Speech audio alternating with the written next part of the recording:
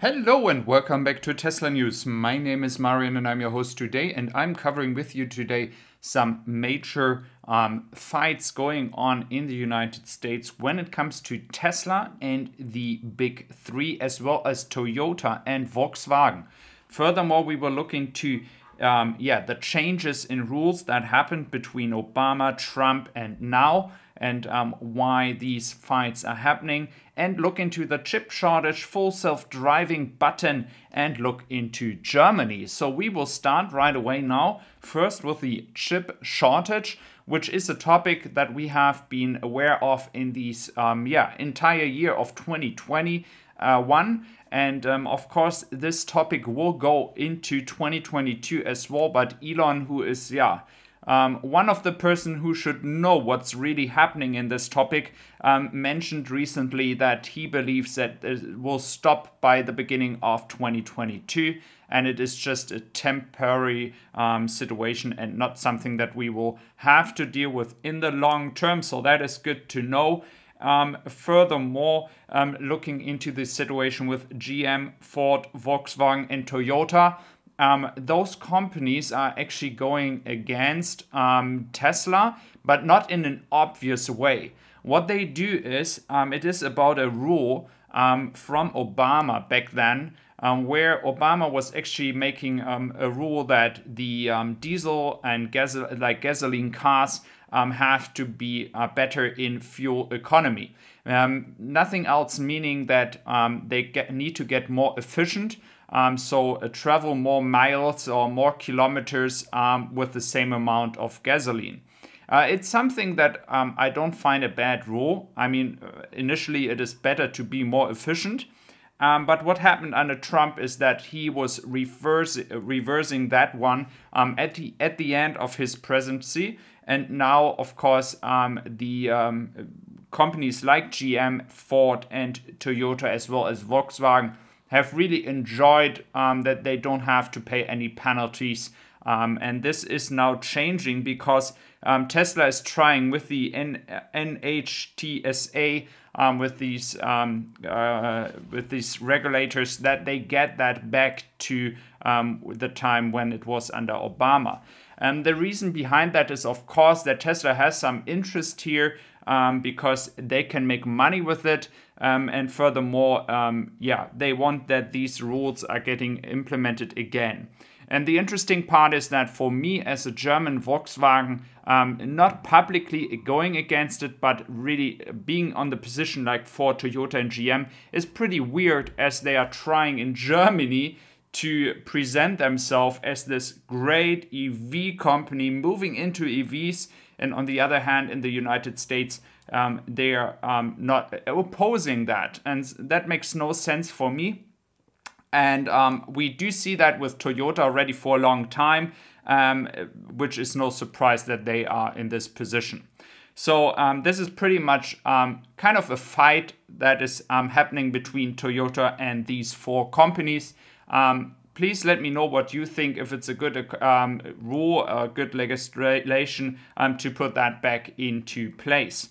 Um, looking into Grünheide, we do have some great news as well from here um, because the um, 500 papers um, are now online. Um, it is possible to uh, look inside them, and there are all these people um, able to um, yeah comment on them, um, give their opinion. It is all put together. Um, since the 24th, um, the online hearing has started now, so we have to see how long that takes. I would say maybe a week.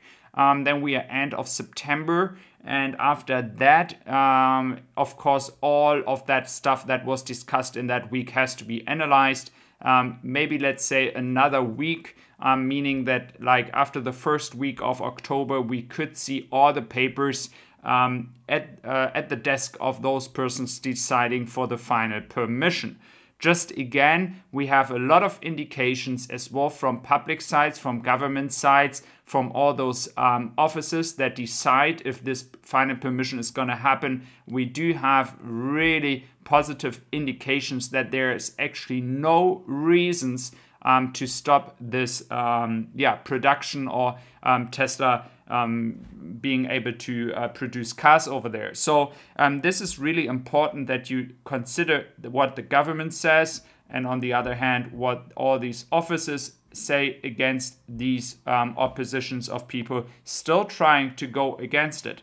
Um, for me personally, I think the reason why they still do that, it is just a way um, to say afterwards that we gave everyone the chance and they just want to be 100% sure that there are no lawsuits that something went wrong because pretty much the government could say right now okay or and the offices could say well we're going to give them the final permission but they just want to be sure that afterwards there are no legal um, loopholes anymore to go against this uh, project. And this is the reason why they still do these online hearings here right now. And I think that is a better way um, than um, just going fast track.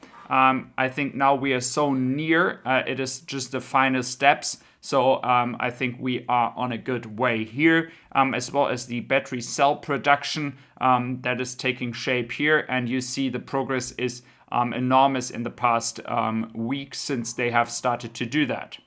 Going back to the United States, we have as well some news for the full self-driving button. Um, it's supposed to be updated since Friday night. Um, if you are from the United States, please give me an update um, if it's actually showed up in the weekly or two uh, every two week update that was supposed to come on Friday.